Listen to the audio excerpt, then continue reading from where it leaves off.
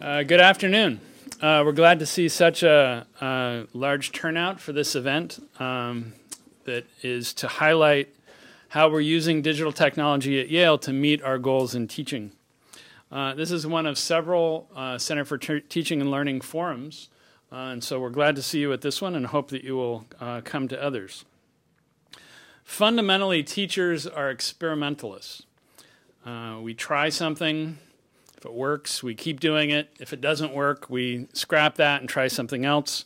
Uh, we're very much scientific, I hope, at least, in terms of how we uh, take on uh, ideas about what works in teaching.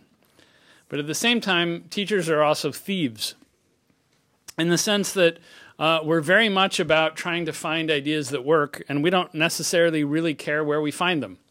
And so if we find things that work and we saw them in work that someone else was doing, uh, all the better for an opportunity to incorporate them into our, our own teaching. And so effectively what this forum is, is it's an opportunity to do some just wholesale, wholesale thievery as we look to borrow teaching ideas from each other uh, and utilize those teaching ideas in technology. Uh, the same kind of principles of looking for ideas in teaching and incorporating them into our own, or as our own, is what we're setting about this week as we uh, have Faculty Bulldog Days, which is an opportunity for uh, all of us to uh, visit each other's classroom uh, and see what's happening in those classrooms and the kind of techniques that are being utilized. Specifically, today we're looking at the opportunity to use technology in our teaching.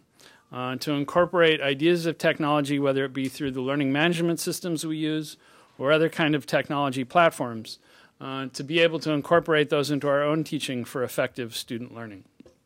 So I look forward to uh, what we'll, we will hear from the speakers as well as from the panelists. Uh, it's my pleasure at this point uh, to introduce our uh, keynote speaker, uh, Dean Marvin Chun, who was recently appointed to be the new Dean of Yale College.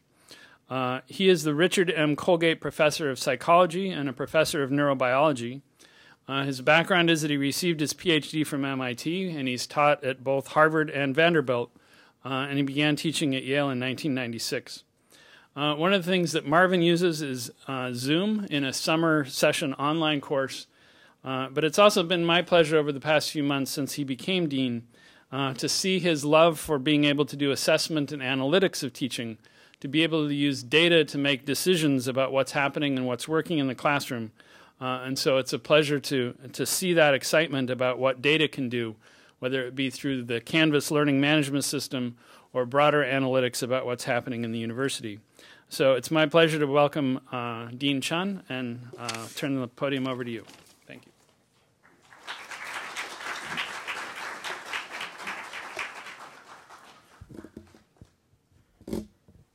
Uh, so, so thank you very much for having me. I'm very grateful for your participation today and also for uh, the invitation to join this uh, fabulous session uh, from the Center for Teaching and Learning. Uh, I also like how my um, kind of informal opening remarks turned into a keynote um, uh, speech, but um, and so um, but um, I'll try to um, speak a little more informally. Uh, I'll, I'll, have I'll try to cover two themes in my brief remarks. One is I, I just wanted to share why uh, I teach, which which may be a little redundant for an audience who clearly has is showing strong motivation and appreciation for uh, good teaching. Uh, and then the second topic is why, um, how I discovered um, how I feel that interaction is so important in the classroom and how digital technology is enhancing our ways uh, to interact with our students in the classroom. Um, so just just to share a few things about why I teach, and this is what I, um, uh, you know, I think about this all the time, especially in my new dean role, uh, especially as I collaborate with so many people on campus, so many amazing people. Um, I, I, I, I, I, kind of um, uh, don't accept the standard sense that there is a tension or or conflict or trade-off between scholarship uh, and teaching or research and teaching. Um, I, I, find, uh, at least I feel that in my career, uh, the two activities have been incredibly uh, complementary uh, and mutually uh, reinforcing. Um, I especially uh, love teaching for the same reasons why I love my particular discipline, which is psychology and neuroscience. Um, we, we like to we do what we do um, partly because it's personally reinforcing, but also because we feel uh, it's, it has impact, that it's rewarding uh, to others, uh, that what I know, if I share with others, will help them do uh, whatever they want to do better. Um, I especially feel that way about Introduction to Psychology, which I teach here. I think psychology is a very integral part to a liberal arts uh, education, you know, understanding how people think, uh, how people make decisions, uh, how people interact with each other, uh, in what ways can uh, the mind and the brain go wrong. Um, I think these are all things that I want everyone to think about, not just the specialized researcher, the grad student, postdoc, or, or professor. Uh, and so it's with that motivation. I, I, I teach Introduction to Psychology at the, um, which fortunately at Yale is a fairly large course, so I can reach out to a large number of students. Um, and I teach that again not because I have to fulfill my teaching obligations to the university, but I really treat it as an opportunity, uh, a privilege uh, to have access to you know future amazing, uh, well currently amazing students who will continue to do amazing things for uh, the world in all their different disciplines. I go in with that conviction. I, I literally every time I stand up there, I I, I, I can easily imagine that there's you know my future senator who's going to determine grant funding is sitting there, or a future president, or a future NGO worker, a future teacher, a future Nobel laureate, uh, future CEO. I, I, just see that in, in the audience, and I think especially we're lucky here at Yale that that you know that kind of imagination is actually true. That our students do leave Yale and go on to do amazing things. So if you can plant tiny seeds from your discipline, from your field, that will shape their minds and help them do uh, better things for the world. I, I, just think that's just an incredible opportunity, uh, and it's why I uh, feel that teaching is, um, you know, a huge um, privilege and uh, something that we should try to, um, you know, hone and uh, as craft, a skill that we should try to improve as much as possible. Um, so, so that's just a few comments on why I think um, why you're all here uh, and why I'm here. Um, I teach introduction to psychology. Sometimes the class is about 500 students, um, and um, and we know here at Yale that students, or especially our students, don't like one-directional lectures. Um, they they like to interact with each other. They like to interact with the professor uh, where possible, when possible. Uh, and so, uh, in, at least in my class, um, uh, the digital technology has has played a very helpful role uh, in making my classes more interactive. Um, you know, at the very basic, you know, almost almost uh, uh, banally basic, um, I use a lot of videos. Um, I use a lot of interactive um, demonstrations um, based on videos, based on computer programs, based on animation. Uh, I do things where I literally pose questions uh, to the class. I get them to talk with each other using these illustrations, using these uh, demos, and especially videos. Um, I think without that, um, as you can tell, I'm not a very good speaker, um, but I think my classes um, have been well received because I use these um, media in, in, effective ways. I don't do like long five minute, 10 minute videos. I, most of my videos will last 30 seconds to a, to a minute, um, but I do it in an interactive way so I can get the students talking even in a 500 person class. Um, uh, the other uh, tool that um, has been really, really essential for my introduction to psychology class are, are the clickers. Um, I've been using clickers for over 10 years since they first appeared on campus um, because uh, this way we can really do kind of live um, input from the students in both uh, a way that's interactive, uh, that's um, that's um, that's live, but thirdly, that's anonymous, uh, so that we can uh, collect data, do surveys, ask questions from students without them feeling self-conscious or embarrassed or intimidated by the size of the class. Um, especially the anonymity of the clickers has proven really critical, and I'll give you an example of uh, you know how, of a demonstration I give in my class uh, that students find to be very moving um, and something that I would not absolutely would not have been able to do without the clickers. Um, this is covering uh, Trivers' uh, parental investment theory. How many of you, some of you, I'm sure, know Trivers' uh, parental investment theory? Um, this is uh, this is the notion, uh, evolutionary notion uh, that um, shows differences between uh, in all species, not just humans, but it shows differences in the way that um, males and females approach uh, sexual interactions. Um, uh, the, the idea um, is basically the uh, the sex, which which will differ across species, the sex that invests more in the um, uh, in the birth and and caregiving of an offspring will be more choosy uh, in a relationship in choosing a partner. Um, and so, in the case of um, humans, uh, because women, you know, the pregnancy lasts nine months, and because the bulk of the child rearing, uh, at least traditionally, um, uh, rests uh, with, with, the mother, but especially the pregnancy clearly rests with the mother. Um, the idea is that because that is so expensive biologically, uh, women will be more choosy than men are when it comes to choosing uh, partners. Um, and so I can describe this in the way I just did, and everyone eye just kind of glazes over or I can do a questionnaire um, uh, to test a prediction that this theory makes, which is um, with your clickers, you can pretend you have clickers, you don't have to answer. Um, how long would you need to know someone before you'd be willing to sleep with that person?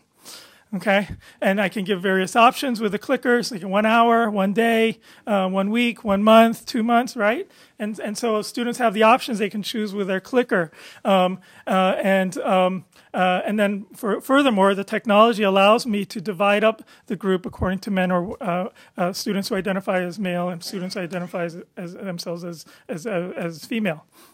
Okay, so I can answer this, I can ask this question. I can't ask them to raise their hands, right? Um, so uh, clearly uh, that would be boring. Uh, just describing the phenomena is boring. But if I do this survey, I can analyze the data online and throw up on the screen. And moreover, I can say, this isn't data from some study published 10 years ago. It's not some data public collected at some other um, population, you know, in some city, very different from uh, Yale and New Haven. Uh, this is literally your data um, that I'm showing up live on the screen. And, and of course, the results are that uh, guy, uh, women will take about a week to a month uh, before they, on average, before they feel comfortable sleeping with someone. Whereas uh, men uh, in this audience um, will say that you know within an hour and a day they're ready to um, you know spend the night with somebody. Uh, and students get to see this live, and we get to show um, you know the, the predictions of tr- you know the parental investment theory. Uh, but moreover, it allows us to go into even more uh, meaningful and deep conversations about um, these differences and why um, and you know how they may relate to um, and how they should inform you know the kind of interactions that healthy interactions we want um, students to have with each other. Uh, so that's just another example how digital technology enables a class to be very interactive, very live, um, uh, and um, and be able to you know touch upon sensitive topics. Uh, the other uh, things that are um, that um, that we, we've explored and that I hope to continue to explore are things like Canvas Piazza, which are message forums. Um, you know, as you know, this is a social media generation. Students like to chat with each other a ton.